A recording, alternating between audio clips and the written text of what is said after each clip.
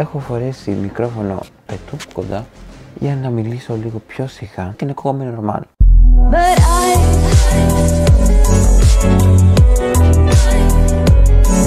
I am bad. I'll go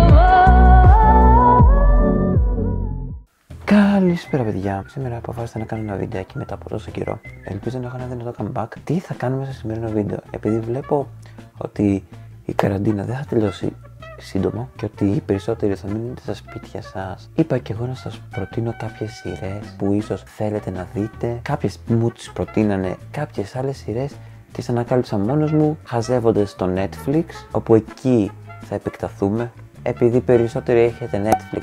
Πριν πάμε στο βίντεο μην ξεχάσετε να πατήσετε το κουμπί του like, το κουμπί της εγγραφής, το καμπανάκι να σας έρχονται όλες οι ειδοποιήσεις, να με κάνετε ένα follow στο Instagram και στο TikTok χωρίς να μιλάω πάρα πολύ, περάσουμε στο βιντεάκι. Άμα γυρνάω από αυτήν εδώ την κατεύθυνση, είναι επειδή σε αυτήν εδώ την κατεύθυνση έχω την οθόνη του υπολογιστή μου. Από εκεί κοιτάω τις συνόψεις, τις περιλήψεις. Η πρώτη σειρά που θα σας προτείνω ονομάζεται Teen Wolf. Είναι μια σειρά περιπέτειας, επιστημονικής φαντασίας, η οποία διαδραματίζεται στην πόλη Bacon Hill. Η σειρά αυτή περιστρέφεται γύρω από τον Scott McCall, έναν έφηβο ο οποίος δακώνεται από έναν λύκο και αποκτά δύναμης λυκού, γίνεται λυκάνθρωπο. Γνωρίζει άλλα άτομα με υπερφυσικές ικανότητες, αντιμετωπίζει άλλους εχθρούς με υπερφυσικές ικανότητες με τη βοήθεια των φίλων του, οι οποίοι έχουν και αυτοί υπερφυσικές ικανότητες πέρα από τον κολλητό του, τον Styles Σταλίνσκι. Πραγματικά τον λατρεύω αυτόν τον ηθοποιό που παίζει το Στάλ Σταλίνσκι και πραγματικά είναι το. Η σειρά που θα μιλήσουμε στη συνέχεια ονομάζεται Σεξουαλική Αγωγή, Sex Education. Είναι μια σειρά η οποία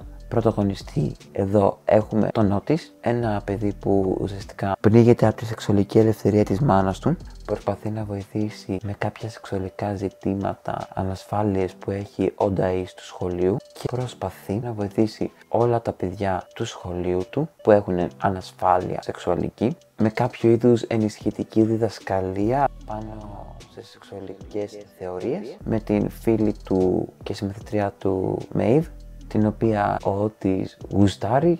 Η επόμενη σειρά για την οποία θα μιλήσουμε ονομάζεται Marvel Runaways. Πλέον δεν υπάρχει στο Netflix αυτή η σειρά εξαιτίας του Disney Plus, αλλά μπορείτε να τη βρείτε σε άλλα site. Μια σειρά κοινωνικού περιεχομένου, την οποία την ανακάλυψα πηγαίνοντας στο σπίτι του κολλητού μου, του Κωστή. Μου λέει ένα βράδυ, έλα να δούμε ταινία. Η ταινία έγινε σειρά και όπως καταλαβαίνετε είδαμε αυτήν τη συγκεκριμένη σειρά για την οποία μετά από λίγο καιρό κόλλησα και θέλω να πω ότι ήταν μια καλή επιλογή. Επόμενη, η επόμενη σειρά που θα προτείνω ονομάζεται Warrior Nun. Η ιστορία είναι βασισμένη σε μια τύπησα η οποία ξυπνάει από έναν ξαφνικό θάνατο με τη βοήθεια ενός στρογγυλού πράγματος που μοιάζει με πέταλο και αποκτάει κάποιες υπερφυσικές ικανότητες που την αναγκάζουν να σώσει τον κόσμο από διάφορους δαίμονες με τη βοήθεια καλογριών πολεμιστριών. Μια πάρα πολύ ωραία σειρά αυτή που είναι πρωταγωνίστρια είναι ό,τι καλύτερο υπάρχει σε κοπέλα. Και πάμε στην τελευταία σειρά για το σημερινό βίντεο. Λέγεται The Umbrella Academy. Αυτή μου την πρότεινε ο κολλητός μου. Αν έχετε δει στο κανάλι, είναι μια σειρά που διαδραματίζεται το 1989 όταν 43 τυχαίες γυναίκες γεννάνε παιδιά με σούπερ ικανότητες. Ένας τυπάς ο οποίος είναι εξωγήινος, μεταμφιεσμένος σε επιχειρηματίας, ε, παίρνει την απόφαση να υιοθετήσει αυτά τα παιδιά με τις υπερφυσικές ικανότητες. Ε, με κάποιο περίεργο τρόπο αυτά τα παιδιά γίνονται αδέλφια με έναν κοινό στόχο να σώσουν την ανθρωπότητα με την ψυχολογική στήριξη της νταντάς τους που την αποκαλούν μάνα τους. Αυτή η σειρά είναι σειρά πιο πολύ δράση θεωρώ. Την αγαπώ και αυτή τη σειρά. Την βλέπω ακόμα, είμαι στη δεύτερη σεζόν. Τελειώνει και τη δεύτερη σεζόν. Πραγματικά λατρεύω Five και Βάνια και έχουν καταπληκτικό μοντάζ.